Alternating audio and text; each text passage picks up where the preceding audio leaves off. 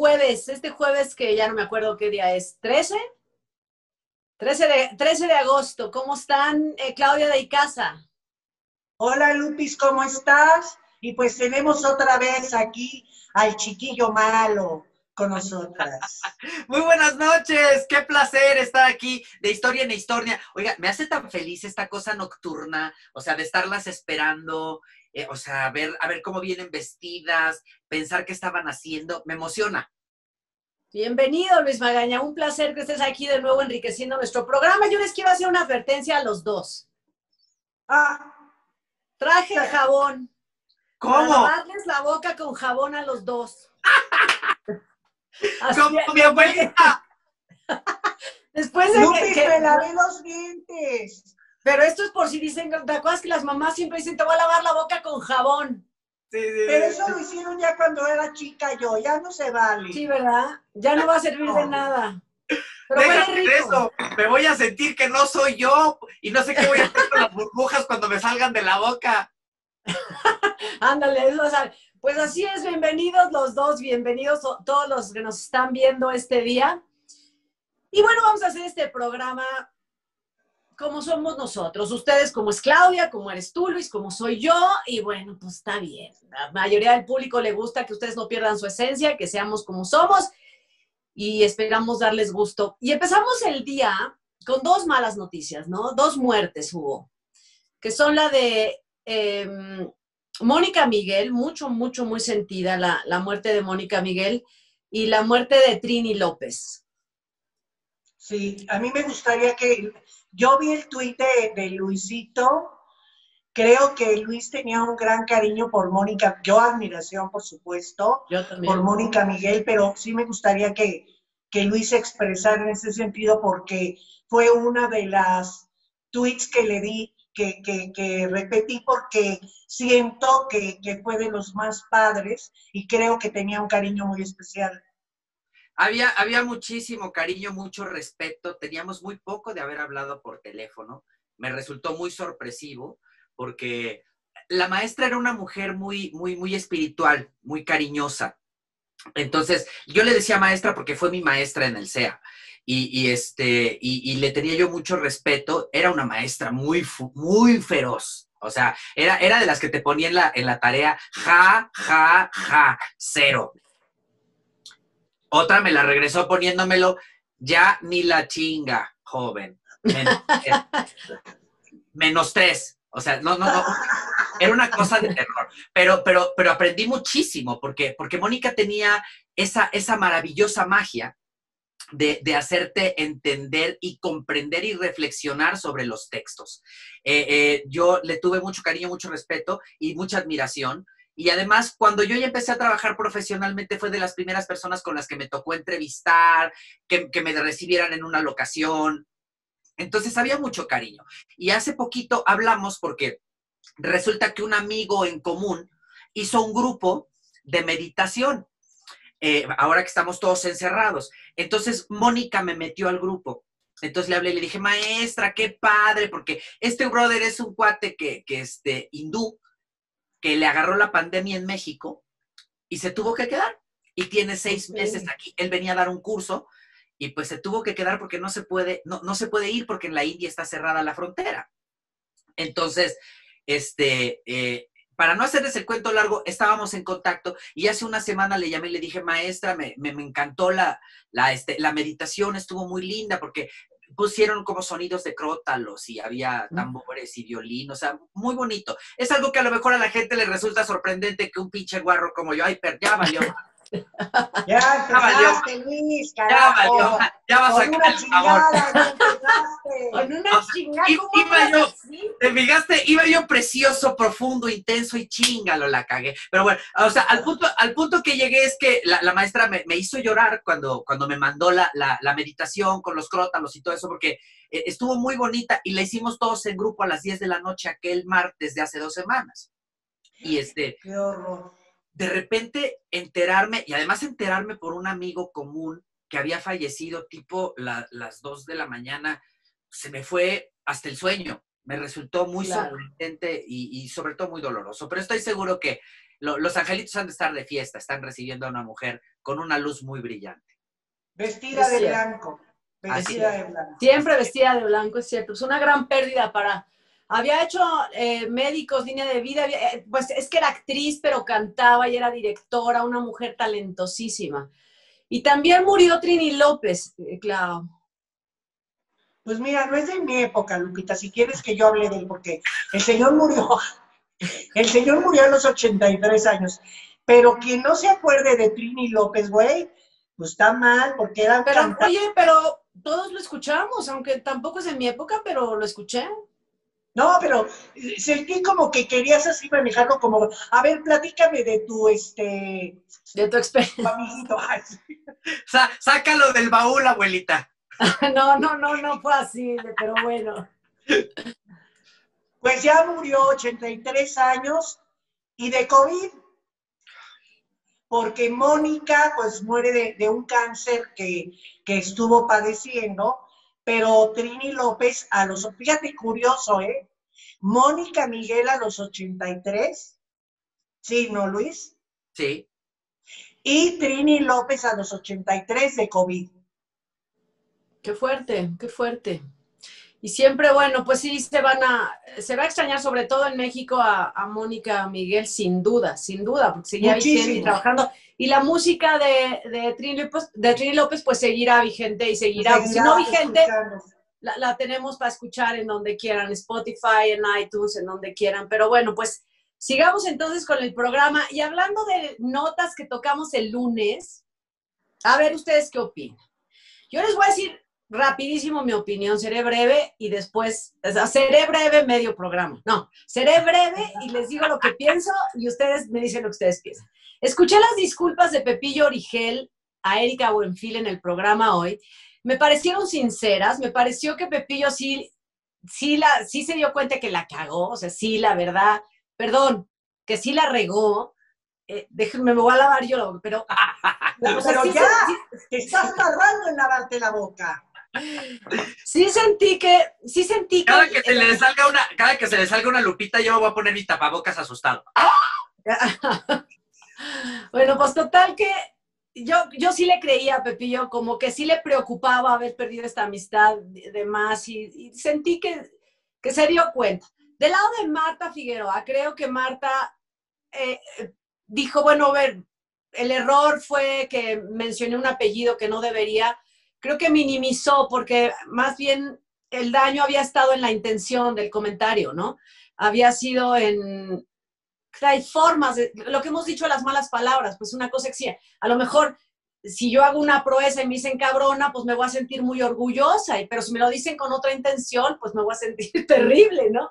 Bueno, pues aquí es lo mismo, ¿no? Creo que, creo que Marta minimiza un poquito la intención con la que hizo el comentario. Pero bueno, se disculpó y, acaba aclarando y acaba diciendo que jamás en su vida volverá a mencionar a Erika Buenfil.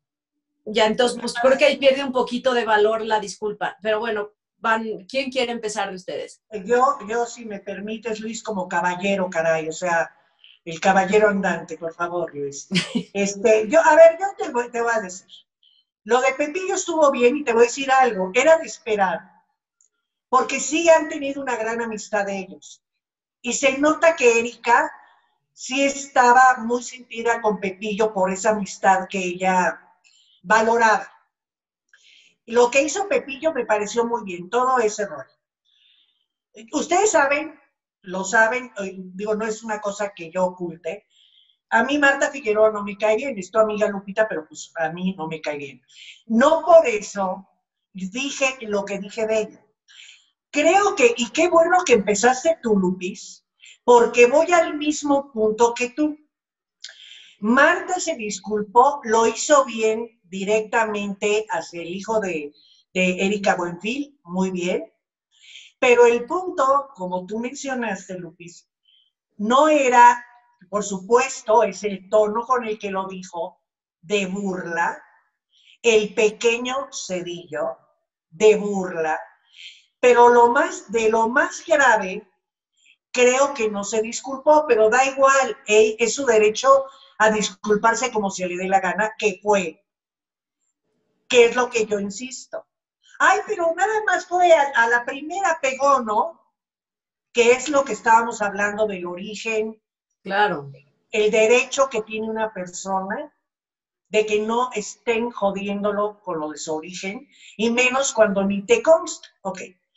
Yo puse en Twitter cuando vi a Marta en una grabación, ojo, no en la tele, en una grabación de otro programa, porque de veras se oía disculpándose, entre comillas, pero Lupis con una soberbia que a mí no me gustó, güey, porque ya si te vas a disculpar, de veras si ya vas a aceptar disculparte, güey, bájale al tono y cambia de la intención.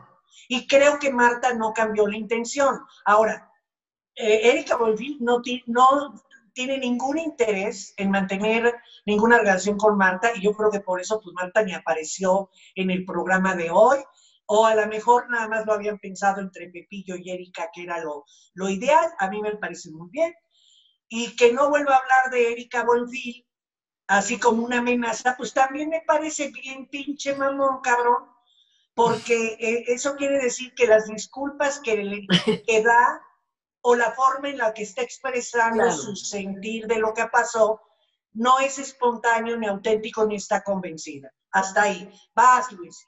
A mí me parece terriblemente lamentable lo que ha sucedido. O sea, no comparto y no, y no justifico la actitud ni de Juan José ni de Marta, con todo y que a los dos los quiero mucho y les tengo mucho respeto profesional y mucho cariño personal, pero me parece que se equivocaron. Pero no los puedo juzgar porque yo mismo me he equivocado. Y cuando lo he hecho, me disculpo personal y públicamente, porque creo que eso es lo conducente. Entonces, en el estilo de la disculpa puede haber mucha vicisitud y mucho cambio, y creo que ahí es donde tal vez podría yo brincar un poco y decir, "Mm, no me pareció muy bien. Lo que no acepto, no justifico y me parece una mamarrachada barata de a 15 centavos, es que los hayan juntado al aire a Juan José y a Erika y que a Erika no le hayan avisado que Juan José iba a estar ahí. Eso- Erika no sabía. Erika no lo sabía. Eso me parece muy barato, me parece un circo decadente Una trampa. y me, exacto, es una trampa. Entonces, o sea, ahí sí creo que si Ana Bárbara hubiera estado cerca, sale tu amor es una trampa, una trampa maldita, y vienen cabronadas, ¿no? una trampa, de- o sea, y aventando las maracas, o sea, porque sí está cabrón. O sea, eh, yo me vengo a enterar de esto de manera fortuita, porque Erika me llama para pedirme un, para pedirme un dato de una, de una persona en Los Ángeles, se lo doy, y entonces empezamos a chismear sobre esto y le dije, oye amiga, te viste muy correcta, muy simpática, muy, muy empática, este, con, con Juan José. O sea, yo creí que en algún momento le ibas a aventar las flores, pero no, te las quedaste en tus bracitos preciosa. Y entonces, y entonces ya nos empezamos a reír porque Erika es muy simpática y este tipo de cosas las toma con mucho humor. Me dijo, lo que está cabrón es que no me hayan avisado que iba a estar ahí. Uh, En ese momento me quedé frío porque Claro. eso, sí, eso sí no se puede. O sea, eso, eso va en contra de cualquier ética, de cualquier moralidad, de cualquier estrategia.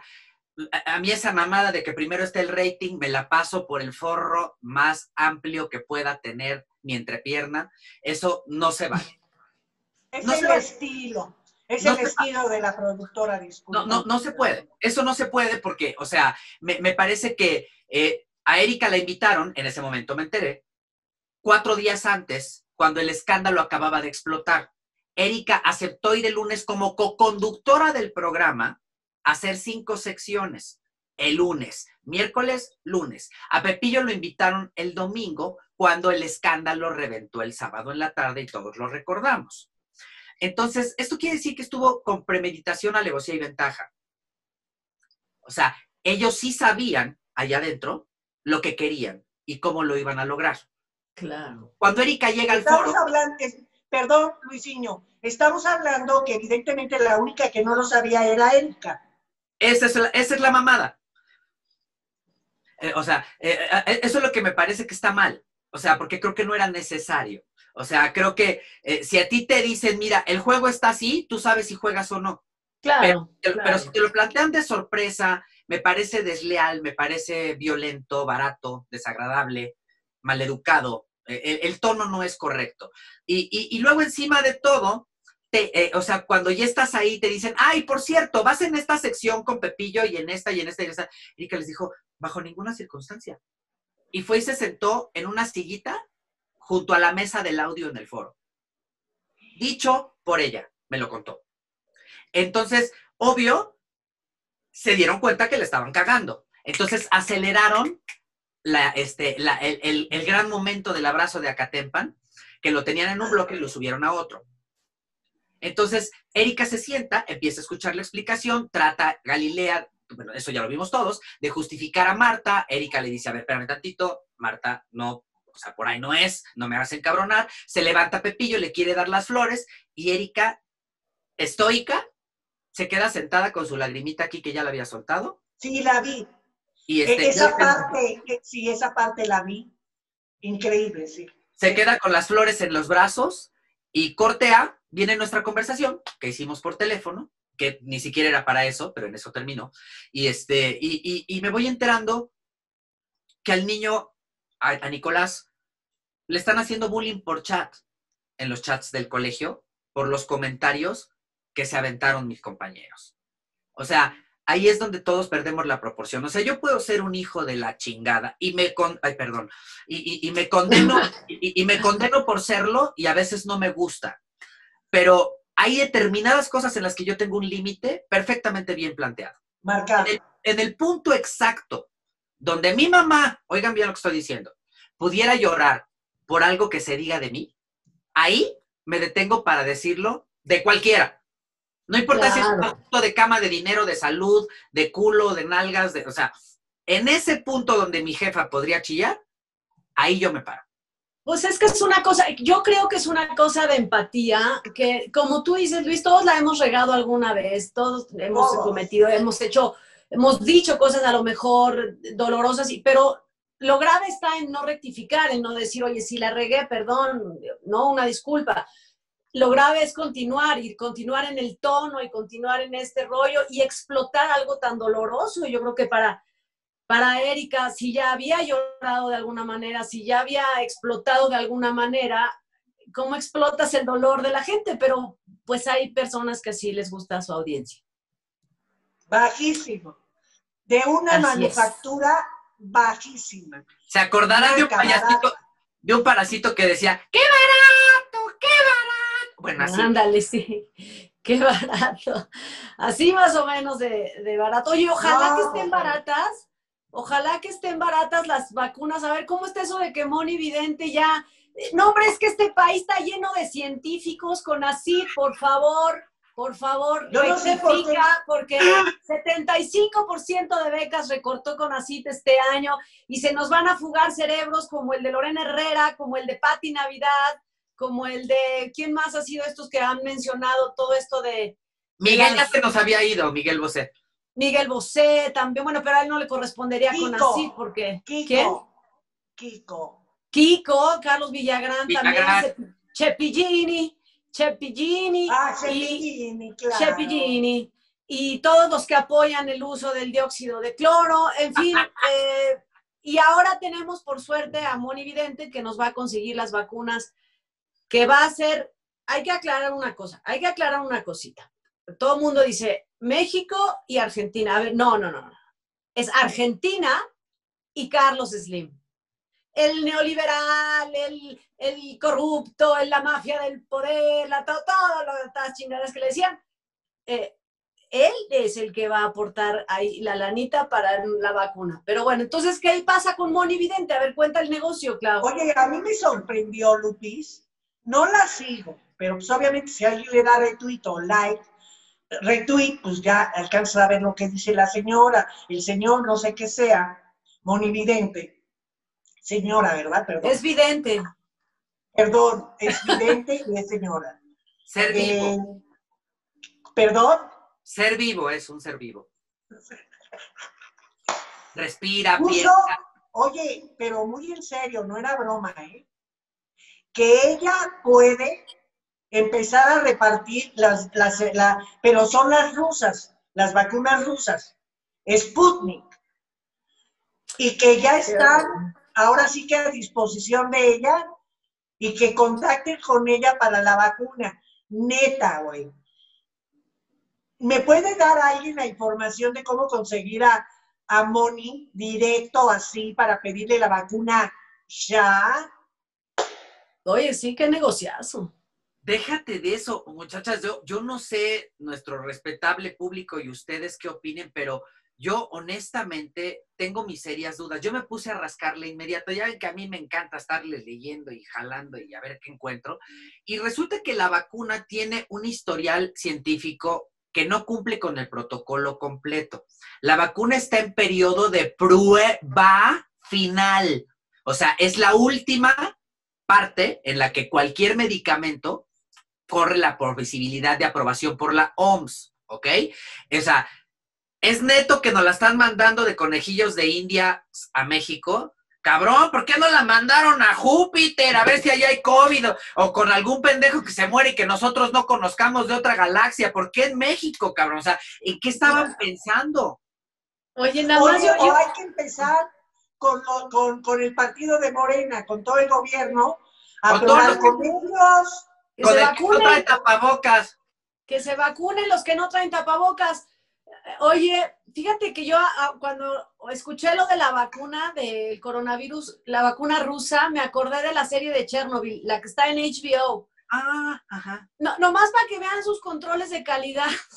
claro, eso era cuando estaban los el, el partido, bueno, pero pues no ha cambiado mucho la cosa en, en Rusia. Siguen teniendo un loquito como gobernante, pero pues así de confiable va a ser la vacuna. Sí. Es que estamos tan desesperados, Lupis, que ya no me importa si viene la vacuna de, de Xochimilco, cabrón, que me la ponga. Pero, aparte, pero aparte no les parece riesgoso. O sea, yo, yo me puse a pensar, hice una encuesta con mis cuates que le pusimos así, Sputnik para un chat. O sea, era, era algo muy sencillo en redes sociales, una pendejada. Y, este, y les puse a ver, independientemente de que les guste o no que les pongan sus inyecciones, ¿estas se la pondrían o no? Neta, del 90%, la respuesta fue no. Todo el mundo le sacatea, güey. Yo, yo no me la voy a poner así, nomás porque a ver cómo nos va. No mames, qué miedo. O sea, ¿qué tal que pase como la vacuna que hicieron este eh, inicial? Ustedes recordarán hace algunos años de este de, de, la influenza. Pinche gentío muerto porque la vacuna no estaba totalmente probada.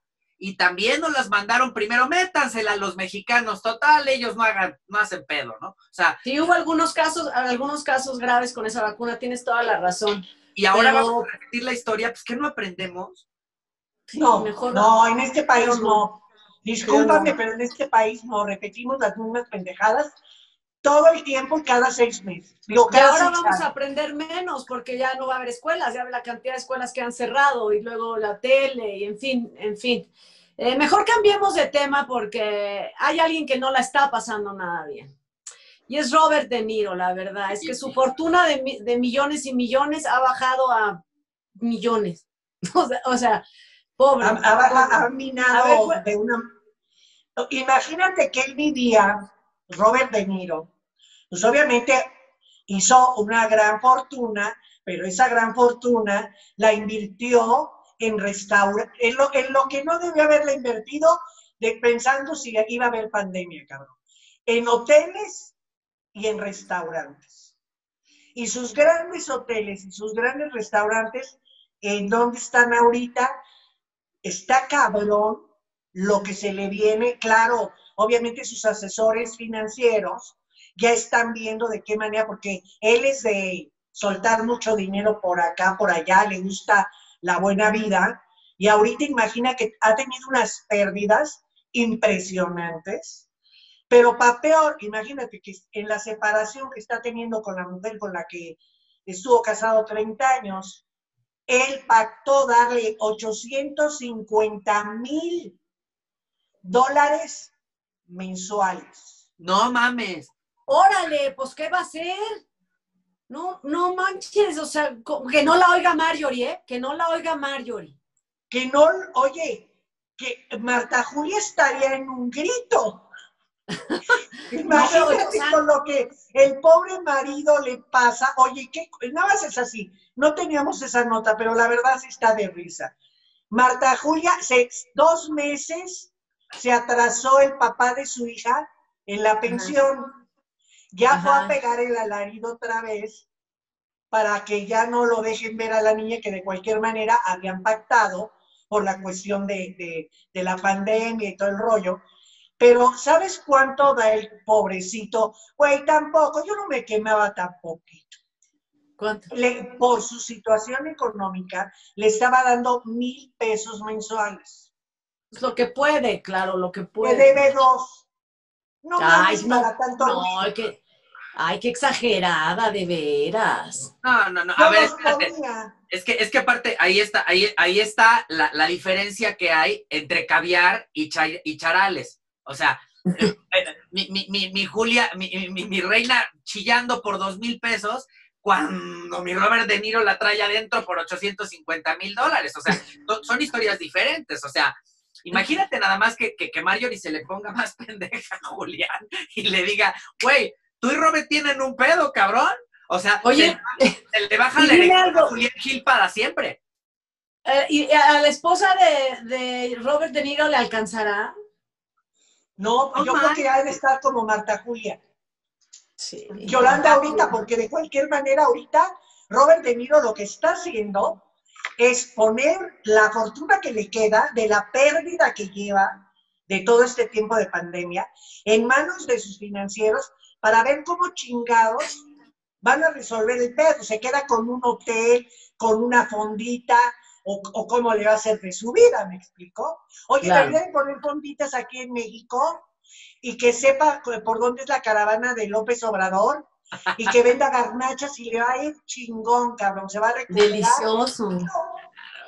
Oye, qué rico las garnachas. Sí estaría mucho más rico eso, la verdad. A mí La me verdad. encantan las garnachas, ¿eh? aparte mi mamá es jarocha y le salen bien chingonas, la verdad. Pero a, a lo que yo quería decirles es que además, o sea, no cabe duda que eh, en, en este tipo de situaciones de crisis es cuando nos damos cuenta de lo que verdaderamente eh, puede resultar una buena inversión. Ya olvídate de esos memes que están mandando de el valor está en ti, porque no volveremos a ser los mismos, porque tú y yo, la vida y la fábula y el amor. No, no, esas mamadas, esa parte.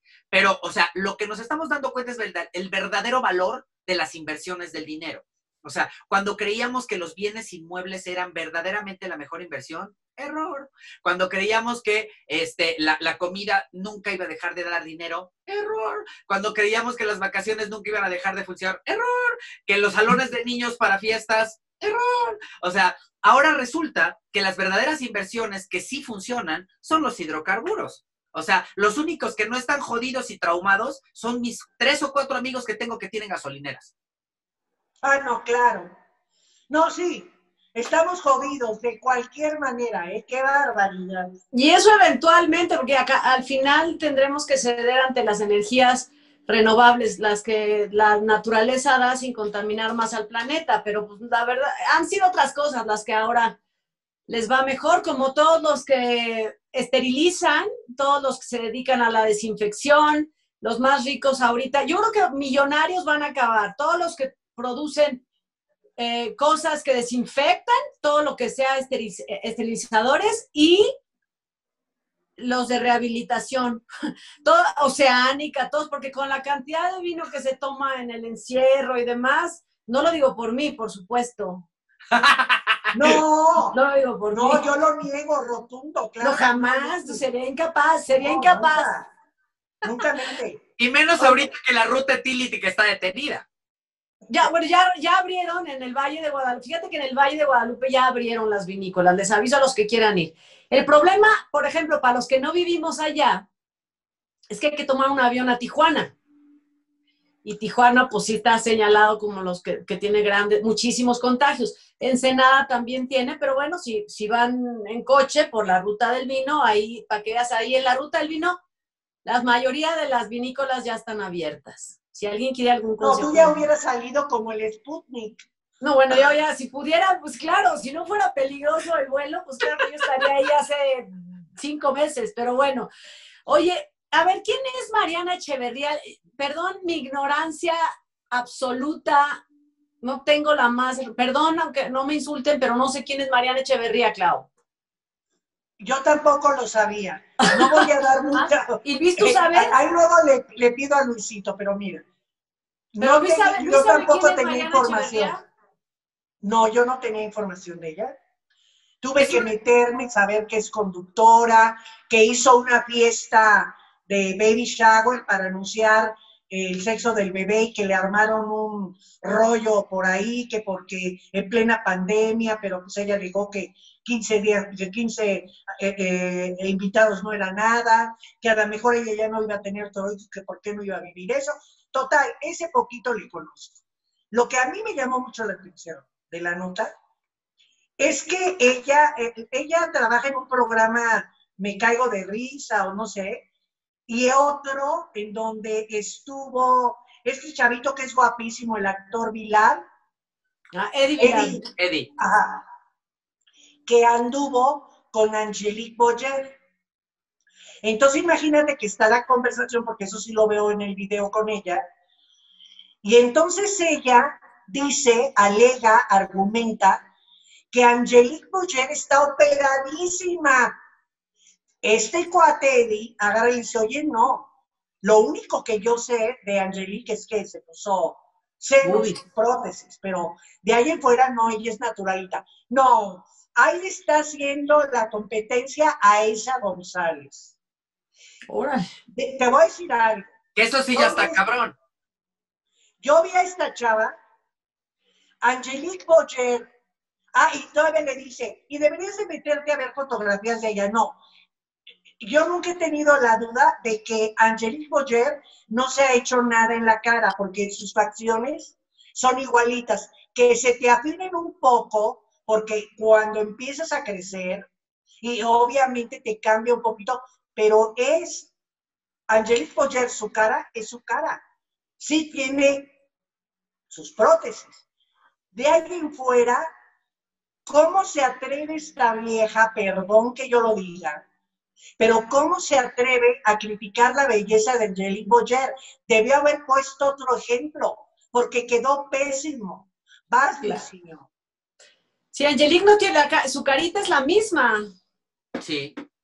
No, no, no, se ha hecho arreglitos. aparte yo, o sea, independientemente de esta, de, esta aventura este, e, este, intelectual que resultó investigar quién es Mariana Echeverría, o sea, eh, sí creo que, que, que, que, o sea, que si era difícil saber quién era ella, está más cabrón justificar quién es ella para, para criticar a Angelique Boyer.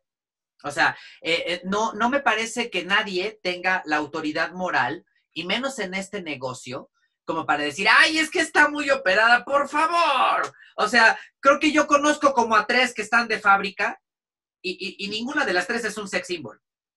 Claro. Que no me Pero además, Mira, lo más destacado de esta nota es que alguien se haya fijado que Mariana Echeverría haya hecho algún evento durante la pandemia y que, haya, y que se hayan publicado sin que sepamos quién es Mariana Echeverría, cuando Ana Cerradilla hace una semana se casó en San Ángel con 70 personas invitadas y nadie ha dicho nada. Eso es lo raro, porque Ana Cerradilla, como sea, pues, es una superactriz guapísima de, gran, de, bueno, de una buena carrera y demás y, esta chava, no, pues voy a investigar yo, voy a hacer ese arduo eh, no, pero trabajo de investigar quién es. Lo bueno, que la investigación te va a llevar dos minutos, está bien chingón. en dos minutos ya tienes la investigación completa de quién es esta chava. Claro, qué bueno, qué bueno que me lo dices. Pero aparte, ¿no les parece, no, no les parece como, como, muy, como muy desatinado que una mujer opine de la otra siendo colegas en ese tono? Claro, por supuesto. Yo creo que, además yo te voy a decir una cosa, Luis, y lo, y lo digo de verdad. Yo creo que si una persona se dedica, y, o sea, su trabajo tiene que ver con la imagen, y aunque no sea así, ¿eh? Y aunque no tenga que ver con la imagen, por el simple hecho de sentirse bien, yo creo que cualquier persona tiene el derecho a hacerse los arreglos que se le dé la gana. Yo ahora, Claudia me, me, animó a ver este programa de Bochet, eh, que es los arreglitos que se hacen. Bueno, hay unos que tienen problemas y que les afectan mucho la autoestima, y aunque no los vea nadie, pues se lo quieren arreglar y, quieren verse eh, bonitos para ellos, o sea, para ellos mismos. Yo creo que cualquier persona, eh, si tiene posibilidades, si, de hacerse lo que se le dé la gana, pues está bien, está bien, ¿por qué no? Yo creo. Ay, pero Yo creo. además, ¿sabes qué, Lupis? Hay que ser objetivos y, y con sentido común, porque se le está yendo a una actriz que es la que menos ha sido observada, criticada, comentada sobre sus cirugías. ¿Por qué no? Elsa González, te lo voy a poner así, y ya lo hemos comentado, sí se ha hecho varios arreglitos, empezando por, por liposucción, porque era gordita, la nariz, y la parte está de acá, pómulo, pero quedó estupenda, cabrón. Quedó Siempre guapísima. Quedó Claro. súper.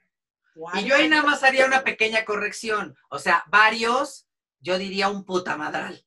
O sea, pero, pero, pero, pero, pero no sé, o sea, si van a quedar como quedó ella, bienvenidas, que se hagan claro. hacer, o sea, porque también mi Belinda, o sea, tiene una genética perfecta, es una mujer muy hermosa, pero también se ha hecho magia, tarima, circo y bengalas, o sea, y, y no, y, está bonita, se ve hermosa. No, Hay- muchas que- hay muchas a las que les va muy bien.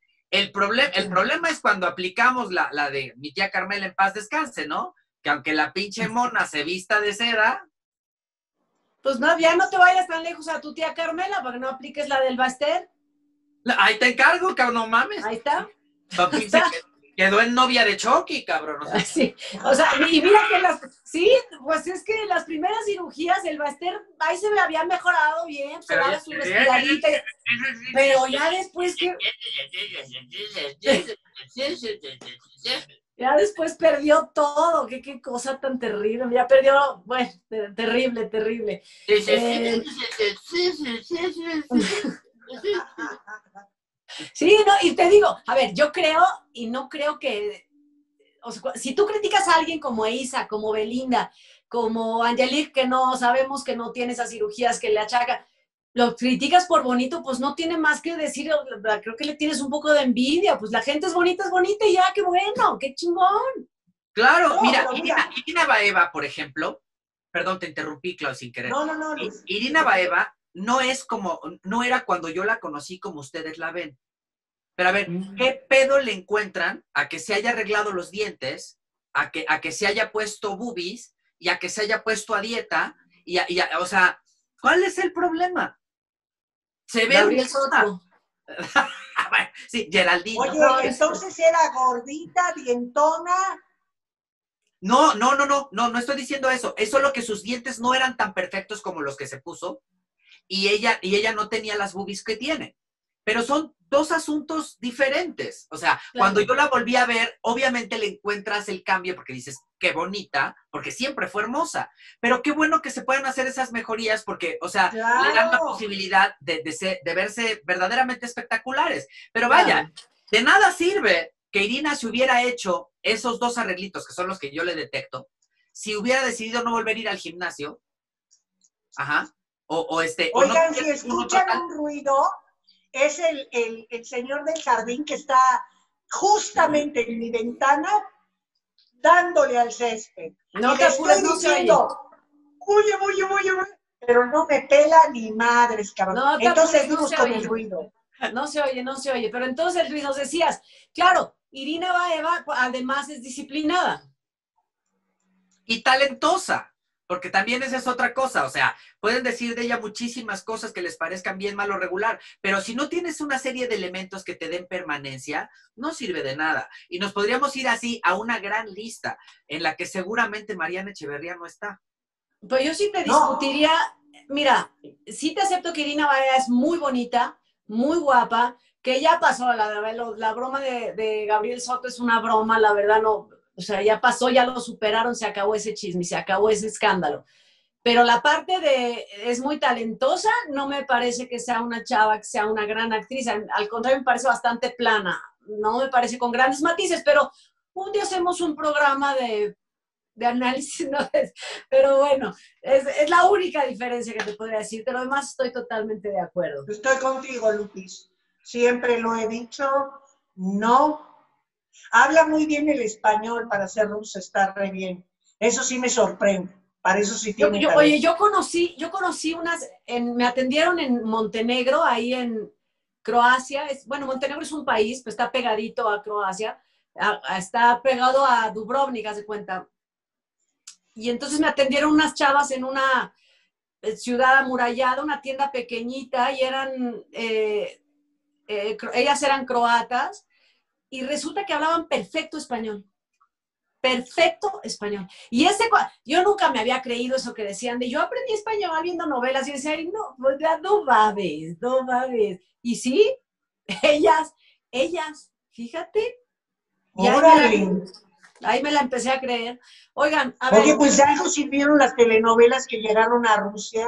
Claro, y son famosísimas. Y ahí la Rufo es Queen, allá, wow. Uh, Oye, y en, bueno, yo quería, cambiando de tema, el día de hoy en el programa Sale el Sol, no sé si lo vieron ustedes, eh, la, una de las, la segunda sección, después de, bueno, la primera sección después de que abren el programa es la de espectáculos, que con Joana Vega Biestro y Ana María Alvarado.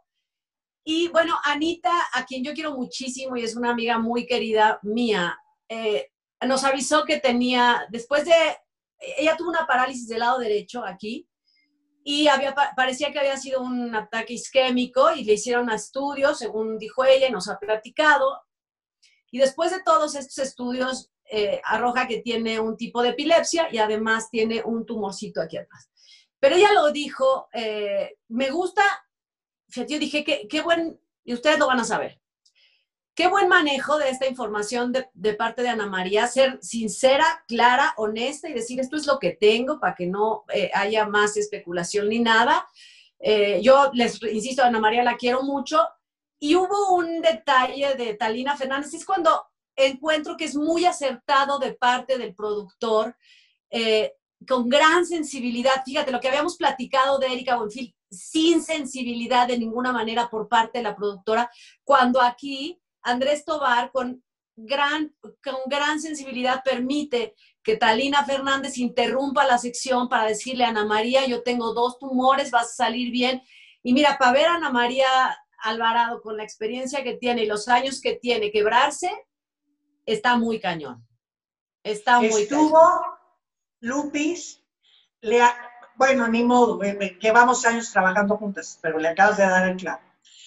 Eh, sí, efectivamente es muy impactante porque ya habíamos hablado de esas cosas que le estaban pasando a Anita y hasta ahora sabemos que no es lo que se estaba diciendo, sino tiene epilepsia, que, viene siendo lo que le provocaba la parálisis en la cara o ese tipo de tics o este, es una parálisis, una parálisis. La parálisis.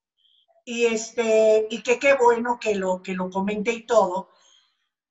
Creo, Lupi, sinceramente, claro, Anita siempre se ha manejado así, es su estilo. No pasa nada, me dicen, que soy una esto, pero yo me río y yo todo, porque ya ves cómo es el estilo de, de, Anita, que como que no da la posibilidad de que alguna vez te vean puta madre, pues nada o encabronada, algo, ¿no? Cuando entra Talina y le dice lo que tú estabas comentando, Lupis, y se rompe Anita, Sí, claro. Disculpen que en algo tan delicado como es la salud de, Anita, lo diga. Pero creo sinceramente que esto que le está pasando a Anita, que aparte que lo tiene que verbalizar, comentar y compartir con la gente, creo que Anita, lo digo sinceramente, le estaba haciendo falta ser un poquito más suelta en sus emociones, creo que siempre estaba como muy reprimida, o tapándolas. Y a mí me pareció eso que tú dices, Lupis, el detalle de Talina, el que un productor vea con otro tipo de sensibilidad un momento tan, tan especial como el que estaba ocurriendo con, con Anita, pero lo más sensacional, independientemente de Talina, que Anita se rompió en ese momento y no es porque yo me alegre. Siento que Anita necesita eso, porque yo estoy de acuerdo en que tenga que, y además porque también temería que si se pone a llorar mañana, tarde y noche, van a decir que está protagonizando porque ya sabes Claro. por las críticas, ¿no? Bien por Anita, bien por el productor y bien por Talina. ¿Qué escena y qué momento nos dieron? Sí, aparte, mira, yo, yo creo que ahí es donde está la magistralidad de quién es un buen líder y hace un equipo adecuado. O sea, eh, tener una pieza clave como la señora Talina Fernández al aire es un lujo, es prestigio y es la presencia inequívoca del buen gusto y la experiencia. O sea, eso yo no lo vi, pero no cabe que ustedes dos son grandes comunicadoras porque lo viví a través de sus palabras y su descripción y me parece que es muy bonito momento, muy bien logrado y, y para que notes la diferencia entre lo que es Lagunilla, mi barrio, ¿me entiendes? Y eras una vez en Hollywood, ¿no? Que son Claro. dos, dos, do- dos códigos postales diferentes, dos historias que se mueven de otra manera, ¿me entiendes? Y no importa quién te ve, porque a lo mejor me podrán discutir, sí, claro, pero ¿qué me comparas? Un millón de mil espectadores contra 23. O sea, eso no es lo importante. Lo importante es que los 3, los 5, los 20, los 40 millones o las tres personas que te vean tengan siempre enfrente un contenido de calidad, sensible, humano, empático y de, y- Claro. y- y de buen nivel. Y esto que ustedes están mencionando lo logra al 100%. Es un contenido de entretenimiento con calidad.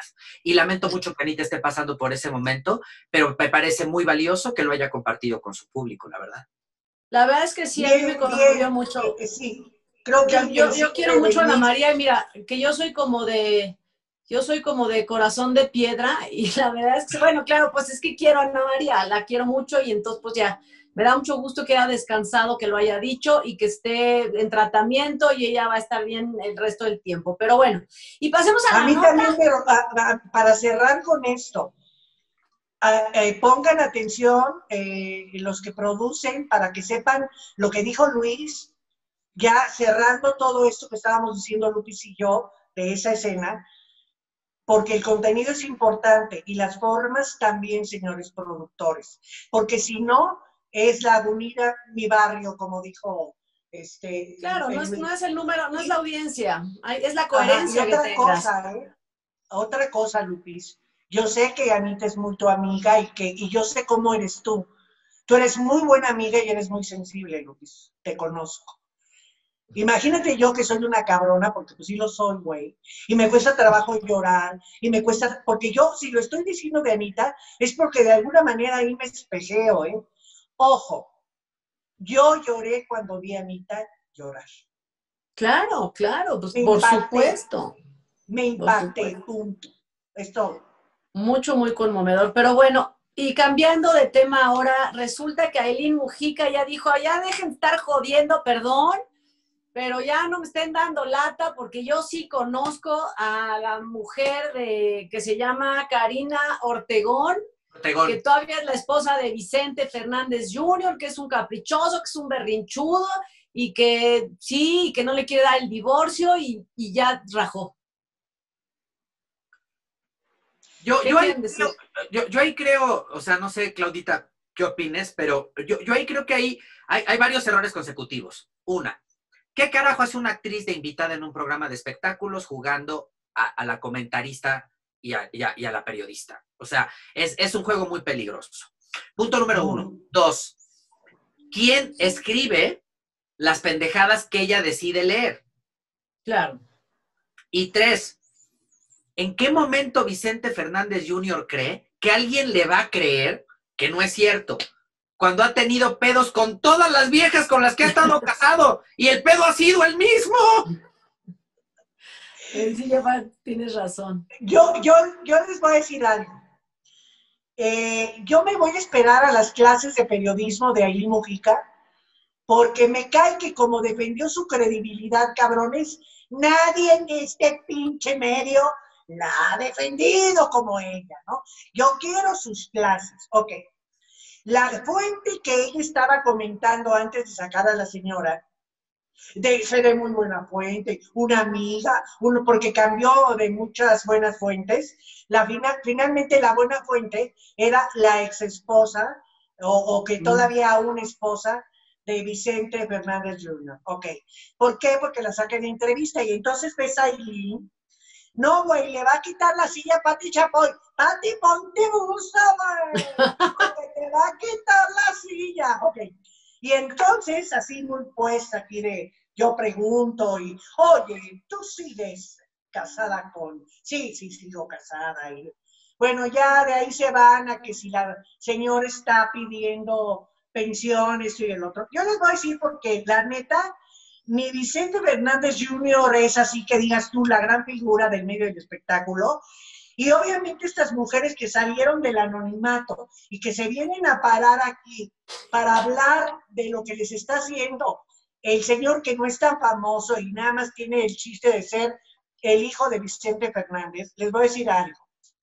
Lo que dijo Luisito, para amarrar, para amarrar, para amarrar.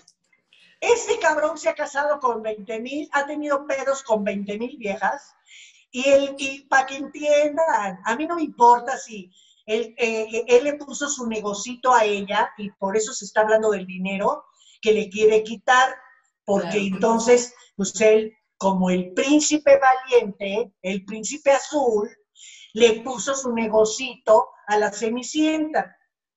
Y al final de cuentas, con las historias de Vicente eh, Fernández Jr. y sus damiselas, el cuento siempre será el mismo, señores. El sapo y la rana. El sapo y la rana.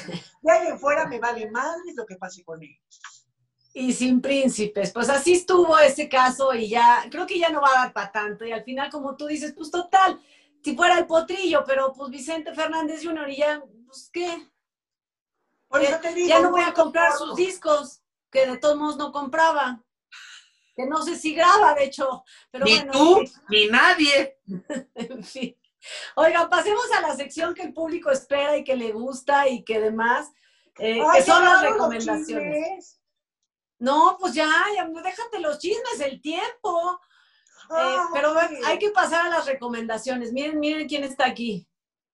Hola. Está desesperado, ya está aburridísimo. Hello. Saluda, saluda a todos. Saluda. Hola, Cooper. Hola, hola. También vino a soltar sus recomendaciones.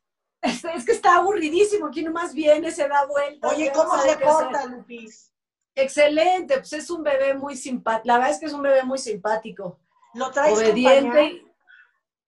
No, para nada, no. Le pongo unos pañalitos. Hay unas cosas como pañalitos, bueno, como unas tapetitos especiales para que ellos marquen su territorio donde hacer popó y aprendió luego, luego, inmediatamente. Sí que se porta bastante bien, pero eh, sí que les recomiendo un Shih Tzu si quieren. Estamos en la sección de recomendaciones. Yo les voy a recomendar rápido, nada más, eh, tres cosas. Vi Greenleaf, que empezó la cuarta temporada.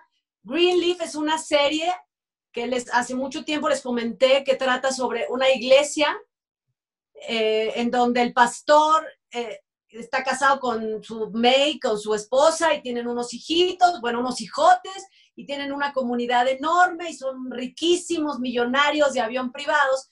Y en la, en la primera temporada se descubren casos de abuso, de malversación, demás.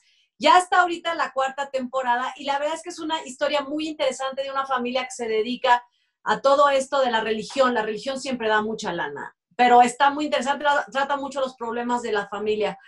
Y otra cosa que no he podido ver, pero ya la puse a grabar en HBO alta definición, es Showbiz Kids, que habla de los niños actores o los niños estrellas en Estados Unidos, en Hollywood. Esa va a estar bastante buena. Y bueno, la última que sí vi, esta la tienen que ver en Acorn TV, es Patrick Melrose.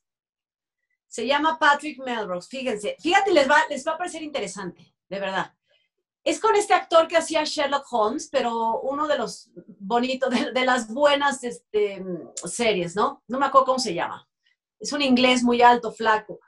Bueno, esta, esta serie habla de un hombre que es adicto a la heroína y es multimillonario. ¿Y por qué? ¿Cuál es el origen? Va, desmenuzando y va descubriendo poco a poco el origen de su adicción y los demonios que trae dentro.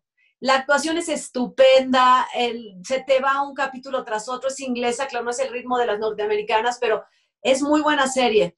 Eh, eh, y empieza cuando se muere el padre de él y dice, tengo que ir a ver, tengo que ir por mi papá a, esta, a Nueva York y lo odio, lo odio, tengo por sus cenizas y lo odio. Entonces, un poquito de humor negro, pero fuerte. Vea, se llama Patrick Melrose. A ver, ¿ustedes qué recomendaciones? A ver, Luisinho, ¿tú tienes? Luisinho. Eh, a ver, yo, yo le, eh, a mí me gustaría muchísimo enfatizar lo que ya habíamos comentado, bueno, ustedes habían comentado también en su programa, eh, de, de, esta, de esta serie de Pan y Circo, me parece muy bien lograda. Diego Luna me tiene muy, muy, muy gratamente impresionado con el poder de convocatoria que tiene y sobre todo con el manejo de producción tan creativo que lograron con el concepto eso de te mando una cajita y cenamos, y, o sea, está padrísimo, ¿me entiendes? Y, además, el casting estuvo muy bien equilibrado. Tiene chile, mole y manteca, y todos pueden hablar.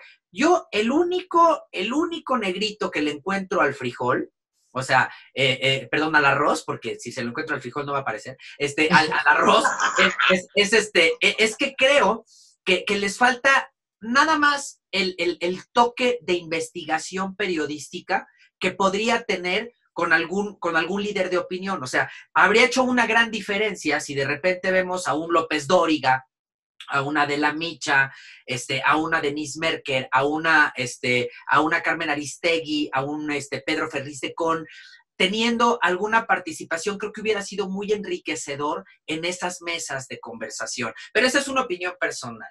Y la otra, la otra serie que me encantó, lloré, porque eso sí, a mí, a la hora de las historias de amor y de, y, de, y de ese tipo de cosas, a mí la jotería me derrumba.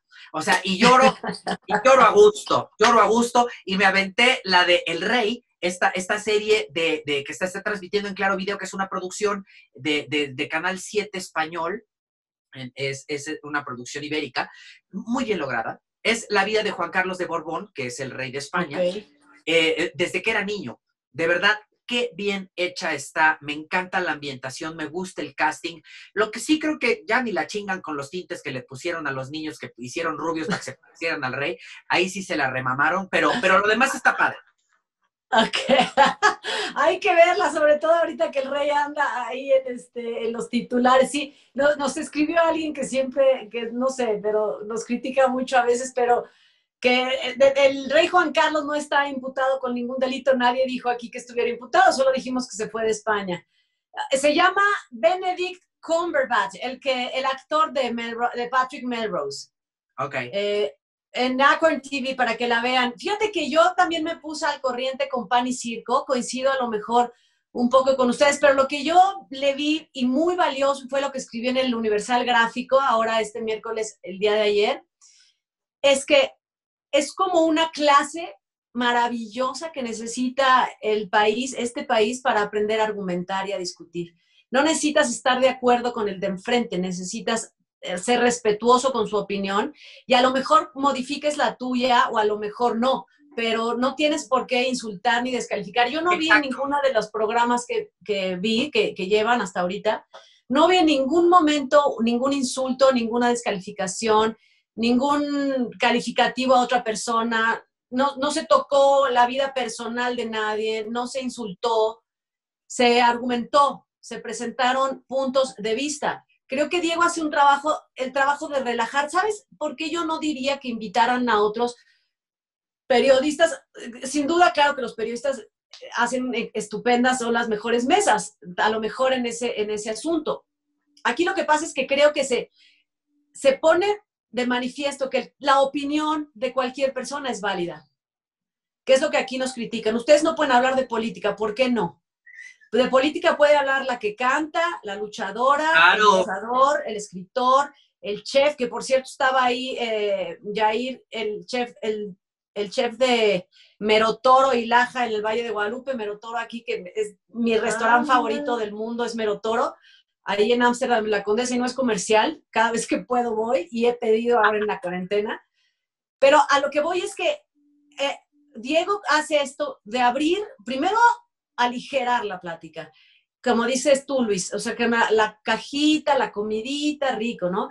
Y, y Diego le da validez a la opinión del chef, de la que canta, de la que, de todos, todos tienen derecho a opinar, que todos viven una misma realidad, vista desde un punto distinto.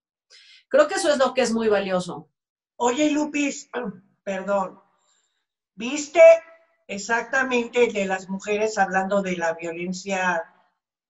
Lo vi, lo vi, Fíjate que fue el programa y coincidí contigo, me acordé de lo que tú, tú habías dicho, es creo que es el único programa en donde encontré que se, Diego casi no habló, pero una mujer interrumpía a otro, se le encimaba para hablar en una de esas, esa parte que creo que Entre la rubia y la morena. Y es la periodista y la vieja esta que te digo, que dice que ha trabajado, que no ha trabajado nada, pero bueno. pero el tema es que yo creo, claro, que al margen de quienes sean, el trabajo debe ser aprende a escuchar y aprende como lo decíamos al principio, a ponerte en los zapatos del otro, en la posición del otro y a entender por qué está diciendo lo que está diciendo. Sí. ¿No? Vamos empatía, a suponer. Empatía. Empatía. Vamos a suponer que mienta. Bueno, vamos a entender por qué miente, lo que sea. Pero es mesura para aprender a discutir y no inmediatamente descalificar. conozco y tú, ustedes lo saben, existen muchas personas que en cuanto ven que están perdiendo una discusión, vamos, yo estoy perdiendo una discusión con ustedes dos y y voy a buscar el punto débil que no tenga nada que ver con el tema para chingarme a Luis y para chingarme a Claudia. y, y, aunque estemos hablando de el origen de las gardenias, yo voy a sacar un tema personal de Luis que sé que le duele y un tema personal de Claudia para desbalancearlos. Y para darles eso madre. Sí. Y ajá, eso es muy común y lo deben saber. lo deben saber, muy común. Eh, y, y, creo que es lo que hay que hacer, Claudia lo que tienen que hacer es aprender a argumentar y eso es lo que, veo muy valioso del programa de Diego. Por eso te dije, Lupi, señalé la participación de esta este, rapera de Catepec. La, que viste, la, escucharon? Sí, claro, que además es activista. No mames con la vieja. Está maravillosa. Una chingona. Y la mamá de, de Lesbi, otra. Otra, chingoncísima. Esa mujer, mis respetos, mis respetos, claro. La, que, en ese mismo capítulo hay una güerita que es conductora de televisión, que no recuerdo cómo se llama, me sorprendió. Yo solamente la había visto hablando de deportes y me parecía bonita. Ella es de deportes. Y ella me resultó, me resultó muy impresionante, o sea, muy bien. Y qué padre, qué padre que se abra entonces una mesa como está haciendo Diego Luna, a personas, esta, esta mujer habla de deportes, pero también puede hablar de la realidad de las mujeres o del tema que le pongas, como le pasa al chef, como Yair habló de otro tema, como, en fin, diferentes personalidades hablando de temas de la realidad que a todos nos atañe. Pues muy bien, por pan y circo. Diego, oye, ahí cuando a Gael García estaba yo esperando que hablara de, de, de, del consumo de, la marihuana en en la cosa esta recreativa y todo ese rollo, se quedó cortito. Debió haber aportado más, ¿no? Yo casi te podría decir que ese es el programa más flojo, el de la marihuana. Sí, yo también. Iba, iban a hacer otro de, de shampoo y jabón, pero Diego no quiso. ¿Por qué? ya entendí, perdón, soy muy lenta, soy muy lenta. Pero bueno, chicos, hemos terminado por el día de hoy, ya este jueves maravilloso. Muchísimas gracias, Luis Magaño, por acompañarnos. La verdad, sí, yo extrañé un poquito las groserías. La verdad, yo creo que no sean así, no, me priven de eso. Tenemos que decir, si ah, tampoco no es de que, que te quedaste con tu jabón y con las ganas. Pero bueno, muchísimas gracias por habernos enriquecido este programa de nuevo, Luis, y de tenerte aquí un, un piacere. Tus, eh, tus redes sociales van a aparecer aquí, pero si las quieres ir mencionando, perfecto. Me va a dar muchísimo gusto que nos hagan el favor de acompañarnos en Magañísimo, que es un programa que tengo por Facebook de lunes a domingo a las 6 de la tarde. Ojalá nos puedan acompañar, nos la pasamos de pocas tuercas y todos los días tenemos invitados divertidos y hay muchas secciones, está, divertido. Y mis redes sociales es arroba Luis Maganamex, arroba en todas las redes. Así estoy, en, Twitter, en Instagram, ya sabes. Y, este, y, acabo de estrenar un website, se llama también Magañísimo. Así que ahora ya estoy bien cabrón, es www.magañísimo.com. Perfecto, pues hay que visitarlo entonces. Ahí, te visitaremos pronto. todo, chinga. Muy pues bien, muy bien. Me, cerraron Sullivan, ¿qué hago? ni modo, ni, ni hablar. Oye, Claudia de Icaza, todas tus redes. Cortito. La de Icasa Twitter, Claudia de Icasa Instagram y se acabó. Ok, yo soy Lupita Martínez A en Instagram, en Face, en Twitter y ahí está. Y, y de historia en historia, así está en Instagram, así está en Facebook, de East en East en Twitter y pueden visitar la tienda en Facebook y en Twitter están los mensajes fijos. Pero bueno, gracias por acompañarnos, muchísimas gracias producción y aquí estamos. Dejen sus mensajes, sus recomendaciones, sus críticas eh, lo que se les dé la gana a todos ustedes. Y cuídense, por favor, pónganse cubrebocas ya en este instante, en este preciso momento, no hay que ponernos el cubrebocas, Luis. Póntelo ya. Tú te lo Pónganselo. ahorita, Claudia. Hasta luego En este, preciso, en este preciso me monto, digo momento. Hasta luego a todos. Gracias, bye. producción. Gracias, producción.